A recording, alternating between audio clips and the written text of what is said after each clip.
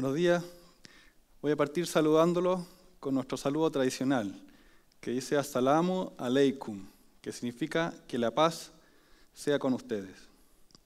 Hoy día les voy a contar un cuento sufi. Este cuento lo relató un gran místico y maestro que vivió en el siglo XII, que se llamaba Jalaluddin Rumi. Él nació en Persia, pero gran parte de su vida la vivió en lo que hoy día es Turquía, en una región que se llama Anatolia. Él a muy temprana edad se convirtió en un prestigioso erudito y en un gran académico, cuya fama se dispersó por toda la región. Tanto así que sus alumnos y discípulos venían de todas las regiones a aprender de él. Y sus cátedras eran, habían cientos, si no miles, de personas que iban a escucharlo. Y sin embargo, él sentía que tenía un gran vacío dentro de sí. Y que todo ese conocimiento, esa fama y esa posición de la cual gozaba, eh, no lo podía llenar. Y eso fue así hasta que en su vida se cruzó con un hombre que era justo lo contrario que él. Era un derviche andrajoso, mayor, de barba blanca, cuyas únicas posesiones eran su túnica de lana y un palo que usaba como bastón. Se llamaba Shams al-Tabriz, el sol de Tabriz, que es una ciudad, en lo que hoy día es Irán. Y cuando Rumi lo vio, se dio cuenta inmediatamente que este señor, Shams al-Tabriz, tenía lo que él andaba buscando. Y a partir de ese momento dejó todo y se fue con él. Dejó su fama, sus alumnos y discípulos, su posición, y se fue con él y se embarcó en un viaje muy tormentoso y apasionado en búsqueda de aquello que él tanto anhelaba. Y en ese viaje él exudó inmensa cantidad de versos, de poemas y de cuentos que hasta el día de hoy están traducidos en casi todos los idiomas, siendo uno de los poetas más leídos de todos los tiempos. El cuento que les voy a contar cuenta la historia de tres viajeros que viajaban en esos viajes como se hacían en la antigüedad, caminando, y que sabían cuándo comenzaban, pero nunca sabían cuándo iban a terminar.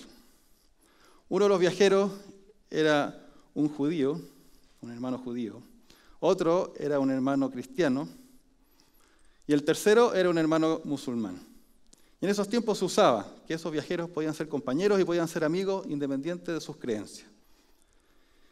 Y ellos al final de cada jornada, llegaban a una posada donde pasaban la noche y comían. Y en una ocasión, después de un largo día de caminar, se sentaron en una mesa y para comer tenían un trozo de jalva, que es un dulce hecho en base a pasta de sésamo y miel. Y lo repartieron en porciones, una para cada persona, y se lo comieron. Pero sobró un poco. Y el hermano musulmán, como era más goloso y le gustaba mucho el jalva, dijo, hermanos, comámonos lo que queda. Caminamos mucho, tengo hambre, y ¿por qué no nos comemos eso que sobró? Y el hermano cristiano, que era moderado y le gustaba comer lo justo y no pecar de gula, dijo, no, yo estoy bien, creo que lo que comimos es suficiente, así que propongo que lo dejemos ahí. Y el hermano judío estuvo de acuerdo con él, así que las reglas del viaje eran esas, el hermano musulmán aceptó, dos contra uno, nada que hacer. Pero planteó la pregunta y dijo, esa porción es muy poco para los tres. Es una porción que alcanza para una sola persona. Así que, ¿qué vamos a hacer? Si lo comemos mañana al desayuno, vamos a quedar los tres con hambre. Y el hermano judío, que era muy inteligente, dijo, tengo una idea. Les propongo hacer una competencia. Y aquel que gane esa competencia se va a llevar el trozo de jalva. Los otros dos estaban muy emocionados y dijeron, bueno, ¿de qué se trata? Muy simple, lo único que tienen que hacer es ir a dormir y aquel que tenga el mejor sueño, ese se va a llevar el trozo de jalva. Se fueron a dormir y a la mañana siguiente se despertaron muy temprano antes del alba, cada uno hizo sus oraciones de acuerdo a su tradición y se sentaron de nuevo a compartir los sueños. Y el hermano judío dijo, mi religión es la más antigua, Así que yo parto. Además, mi sueño es el mejor.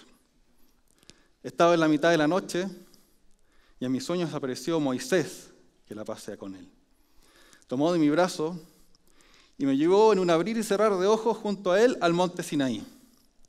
Y en el monte Sinaí estuve viendo como Dios hablaba con Moisés toda la noche. Así que denme ese trozo de jalva. El hermano cristiano le dice, muy bueno tu sueño, pero el mío es mejor. Estaba en la mitad de la noche y en mis sueños aparece Jesús, que la pasea con él. Toma de mi brazo y en un abrir cerrar de ojos me lleva a Jerusalén. Y en Jerusalén comenzamos a ascender junto a Jesús por los siete cielos. Y estuvimos con todos los ángeles, los arcángeles y todos los profetas, incluyendo Moisés. Llegamos al séptimo cielo y estuvimos tan cerca como pudimos del trono divino. Así que denme ese trozo de jalva. Y el hermano musulmán miraba tímido y callado. Y cuando le toca dice, Mashallah, sus sueños son los mejores. No hay duda. Pero les voy a contar igual el mío. Estaba en la mitad de la noche y de repente aparece en mis sueños el profeta Mohammed, que la pasea con él. Toma de mi brazo y me mueve. Y me dice, ¿qué estás haciendo aquí, flojo? Durmiendo. Tu hermano judío está en el monte Sinaí viendo cómo Moisés habla con Dios. Tu hermano cristiano está en Jerusalén subiendo por los siete cielos.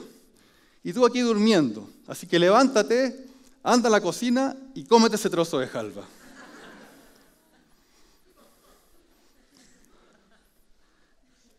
Nosotros creemos que la mayor misericordia, la más grande, que Dios ha manifestado sobre, creación, sobre su creación, es que nos envió profetas y mensajeros para inspirar e invitar a todos los seres humanos de todas las creencias, de todas las naciones, a ir hacia su presencia, guiándonos y mostrándonos el camino para llegar.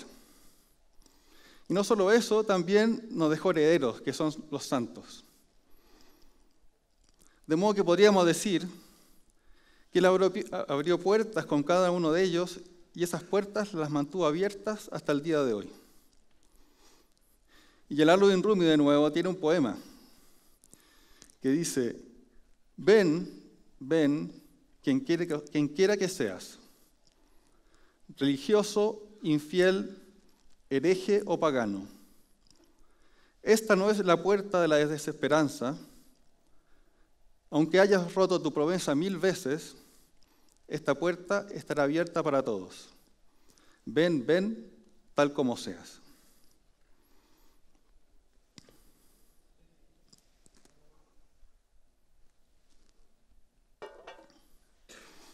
Hace 18 años, yo estaba, lo dijeron en la introducción, estaba haciendo un posgrado fuera. Yo soy exalumno de acá, por eso es muy significativo volver a este campus después de más de 15 años. Y en mi vida me crucé con uno de estos herederos. Y apenas lo vi, me dije a mí mismo, yo quiero ser como él. Y a partir de ese momento mi vida cambió 100%. Y al poco andar, me di cuenta que esa transformación que estaba viviendo tenía que ver con el Islam. Y también me di cuenta que el Islam, más que una religión o un conjunto de creencias o de normas, es una forma de vida. Y es tremendamente práctico. Y lo que busca es llevar a sus seguidores o buscadores a experimentar lo que es la presencia divina busca que una persona encuentre la paz consigo mismo, la paz con su familia, la paz con sus vecinos, con su entorno, con la naturaleza y con toda la creación. Y de hecho, ser musulmán, más que ser seguidor de una religión, es un estado de conciencia que dice aquel y describe aquel persona que encontró esa paz. El Islam significa paz.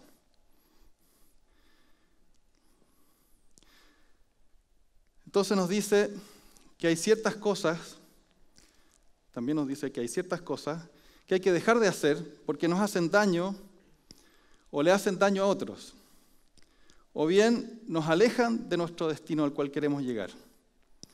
Y también nos recomiendan otras que nos ayudarán a llegar antes. Y eso se trata. Cada uno, en su medida, va haciendo lo que pueda y dependiendo del anhelo que tenga para llegar a esa estación que tanto anhelamos, que es conquistar esa paz dentro de uno. Y no solamente busca darle esa respuesta a un individuo, sino que también a una comunidad entera. Y cuando una comunidad entera la encuentra, esta florece, como sucedió en los primeros tiempos del Islam, hasta llegar a su edad de oro, que fue una de las principales civilizaciones que hubieron hace varios siglos atrás. Para terminar, quiero compartir con ustedes un verso del Corán que dice, os hemos creado de un hombre y una mujer, y hemos hecho de vosotros pueblos y tribus, para que os conozcáis unos a otros. Si Dios hubiera querido, no hubiera hecho a todos iguales, con las mismas ideas, nuestra misma, una misma cultura y las mismas creencias. Pero su inmensa misericordia nos hizo a todos diferentes. Y una tarea importante de cada uno con el objetivo de llegar hacia ese destino es conocernos unos a otros, respetarnos, tenernos tolerancia, aceptarnos en la diversidad y en última instancia, y para atravesar el umbral de esa puerta, amarnos. Muchas gracias.